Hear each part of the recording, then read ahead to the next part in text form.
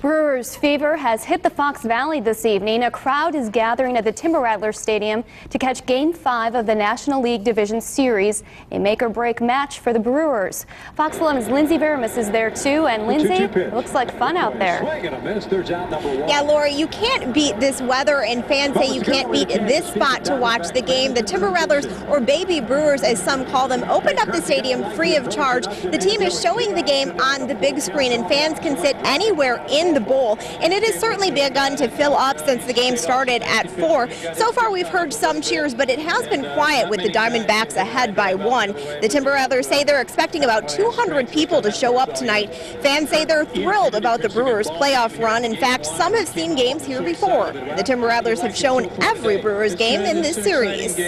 Second to Miller Park, I think this is the place to watch it. Uh, we're the, the single affiliate of the Brewers, and um, what better place to watch Game 5 than at, a, than at a baseball stadium? And we're seeing the people walk in, so it's kind of exciting. Well, we're at a baseball field. That's just the coolest thing.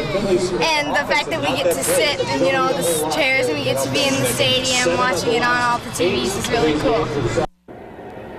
Now, if the Brewers reach the World Series, the Timber Rattlers say they will plan something extra special here, but they haven't thought that far ahead. For now, they just want the Brewers to beat the Diamondbacks. We'll keep tabs on the game and have reaction coming up tonight at 9. Live in Appleton, Lindsey Veramis, Fox 11 News.